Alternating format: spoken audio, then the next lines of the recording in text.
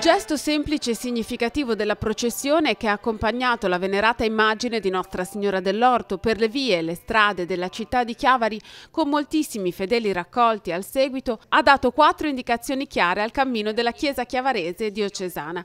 Le ha sottolineate Monsignor Alberto Tanasini al termine della processione che ha solennemente concluso i festeggiamenti patronali in onore di Maria.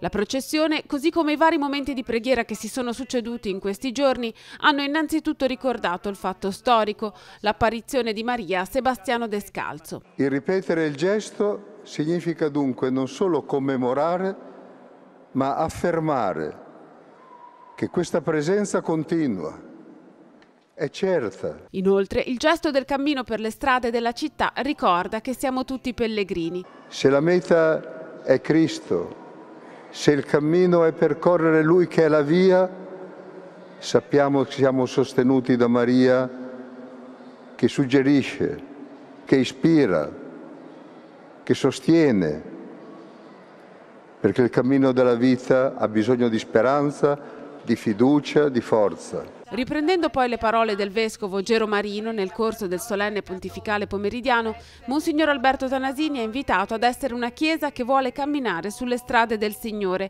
esprimendo così la volontà di essere fedeli al Vangelo, portandolo a tutti. Infine dal vescovo l'invito alla città a guardare al futuro.